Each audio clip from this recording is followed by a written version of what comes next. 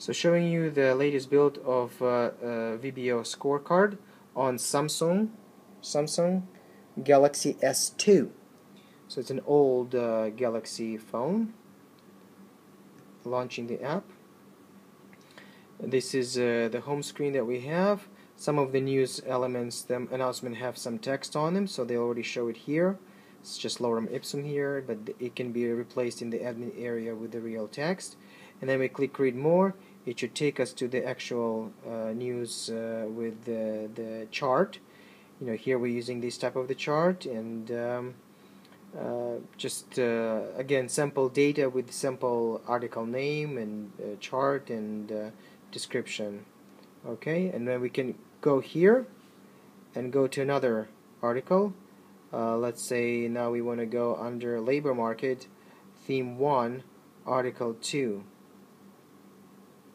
okay and that brings us this. Okay and then we go home. We press the uh, the fab logo. We go home. We can go now to another category. We work very hard to have a very nice and smooth effect in for HTML5 apps uh, as close uh, to native as possible. So we click here theme 2 click here and this is now the, the chart that we're showing here. Doesn't have a lot of uh, uh, it doesn't have any text uh, for this article but again we can uh, put that in the uh, in the admin area. Just can go back go back go back you can see that the response rate is a bit slow, but that has to do purely with the with the phone and how much RAM it has. On faster Androids, it will be much much snappier. But once we initiate an action, uh, the actual transition is very nice and smooth. There's still some uh, bugs that we are working on. We now support all the 13 or I think 14 charts that uh, can be imported in the admin area, and uh, we're pretty much there.